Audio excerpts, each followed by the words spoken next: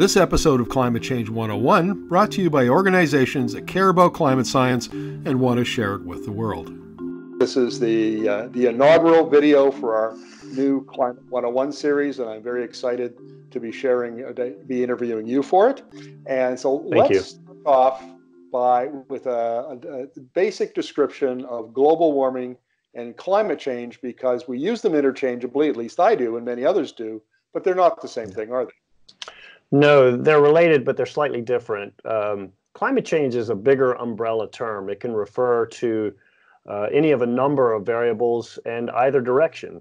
There could be increased cloudiness or decreased cloudiness. There could be increased raininess or decreased. Uh, whereas global warming specifically refers to temperature, and it's specifically referring to temperature moving in a warming direction. Uh, Terrific. Now, what's the basic mechanism by which global warming takes place?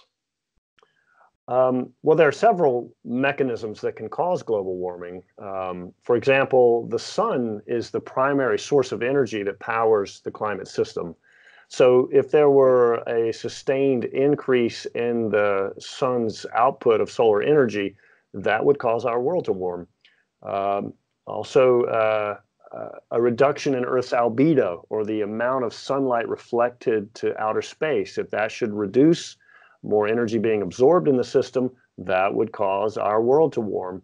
Um, or if there was a buildup of heat trapping gases in the atmosphere, that would cause our world to warm. So these are science facts that have been understood since the 1800s. What's the primary mechanism behind today's the global warming that we're concerned about today?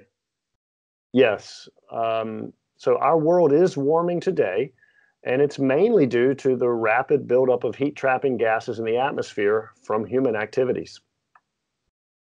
And what about those? Uh, what are the gases that are involved in when we say greenhouse gas emissions? What gases are we referring to?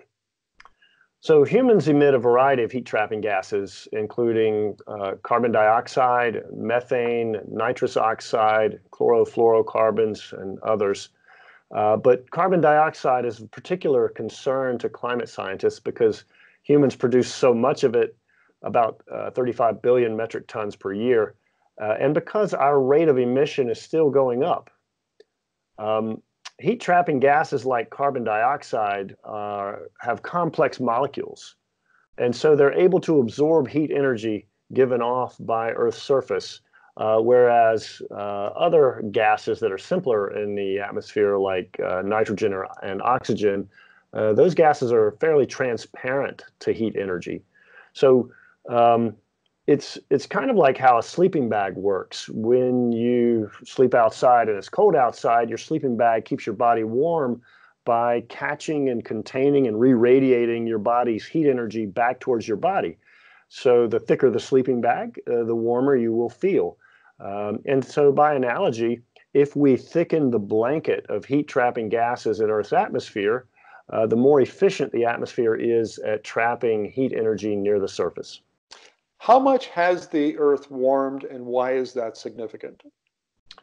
So, since 1901, Earth has warmed by about 1.8 degrees Fahrenheit. That's according to the United States Climate Science Special Report, which is the most authoritative and up to date report on the state of the science in the United States. Uh, so, that amount of warming, that 1.8 degrees Fahrenheit, is significant for really three important reasons. Um, in the context of Earth's geologic history, uh, that rate of rise is unusually rapid. Um, point number two human emission of heat trapping gases is the main cause of the warming. So, in other words, humans are the reason it's happening.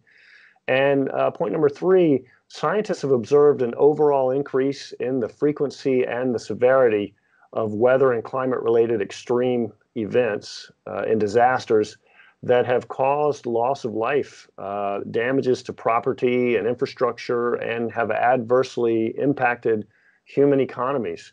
Um, and in fact, some recent studies have shown that uh, most of these events have been made worse by global warming, and that some would not even have been impossible in a pre industrial world. David, thank you very much for this. Really appreciate it. We'll look forward to chatting with you on episode number two. Thank you very much.